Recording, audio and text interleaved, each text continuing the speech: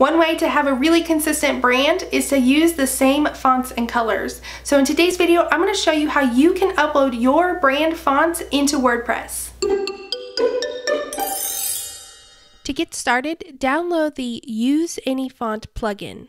Once it's installed, go to the sidebar and click on the Use Any Font heading. The first thing we'll need to do is get your API key to use this plugin. Copy and paste the API key to verify your account, and now we can start uploading a font from your computer. You also have the option to assign your custom font to a heading or multiple headings, but you don't have to and I'll show you how you can use this in your posts and pages. Highlight the text and then in the font dropdown, find the name of your font. And here you can see our custom font is now displaying on our page. If you have any other WordPress questions, let me know down in the comments below. And if you enjoyed this video, make sure to hit like, subscribe, and share it with your friends.